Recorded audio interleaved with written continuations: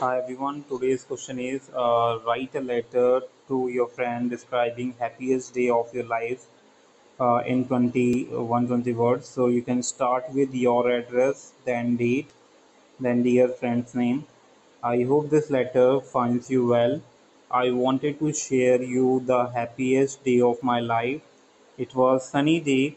It was sunny day and uh, it was sunny day last summer.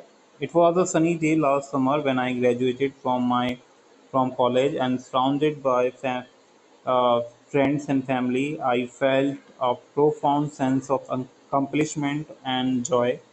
The pride in my parents' eyes, the cheer of my friends, and the feeling of holding the diploma in my hands uh, made it unforgettable. It uh, marked it marked the end of the important chapter and the beginning of a new adventure.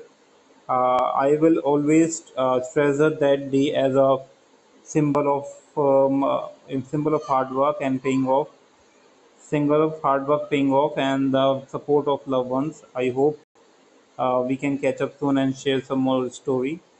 So you can then write, take care, and then you can write your lovingly, yours lovingly after this. Then you can write your name. Fine. So you can write yours lovingly here and then you can write your name. So that's how you can write this letter. Hope you like it. Thanks for watching